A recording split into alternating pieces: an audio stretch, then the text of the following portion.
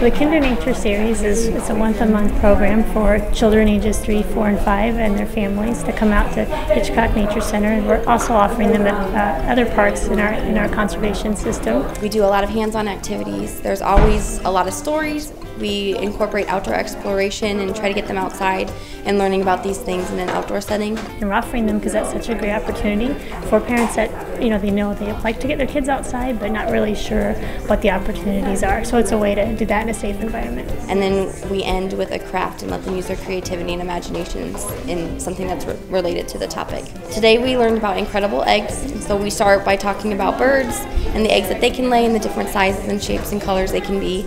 But then we also talk about all the other animals that can lay eggs, and the kids go on an egg hunt, and we find out that frogs and turtles and insects can lay eggs too. And then at the very end, the kids get to take home their own egg and decorate it any way that they want.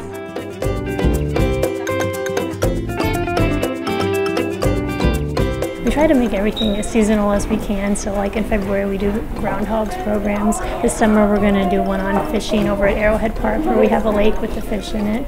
And then November usually brings a lot of turkey programs. January, December, winter winter themed programs about snowflakes. I think the preschool level is a great time for kids to be learning about things in the natural world, and I like to think of preschoolers as the ultimate learners because they approach everything with this sense of wonder and this excitement in their lives and everything they want to learn more about and they want to touch and they want to see up close. And so we provide these experiences for them where they get to do all of those things. They get to touch things, they get to smell things and see them up close. And we're really trying to establish positive experiences in nature from a very young age that hopefully will continue, you know, as they grow older and then throughout the rest of their lives.